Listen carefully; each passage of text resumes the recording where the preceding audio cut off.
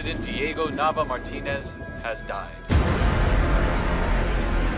My fellow Mexicans, this is our nation's most critical hour. The whereabouts of the First Lady, Emilia Urquiza, remain unknown.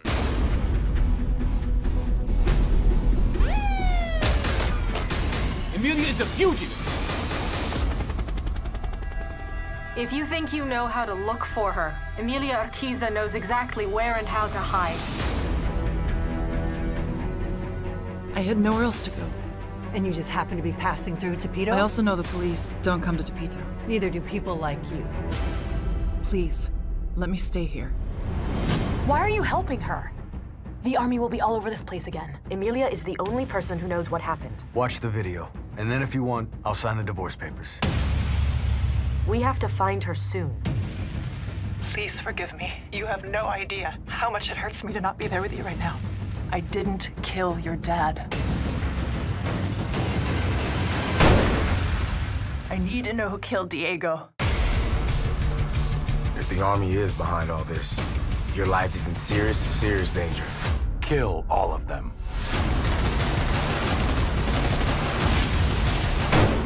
This is so much bigger than all of the missing people. Bigger than Diego and bigger than me.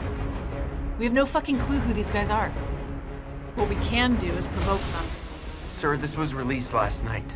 You decided to place your sacred trust in me, and I have betrayed you. Who gave the order? We set this up. Do you mean Urquiza or? Our other bosses. We've reached the end of phase one. We're talking about assassinating my son-in-law.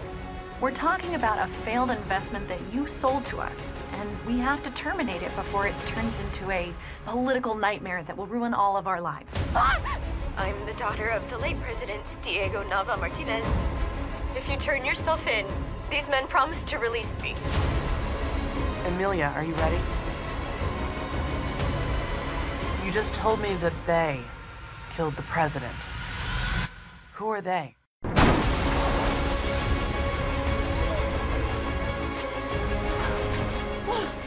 Emilia! I know you didn't kill Diego. I'm an active CIA agent. I have contacts. I can help you find her.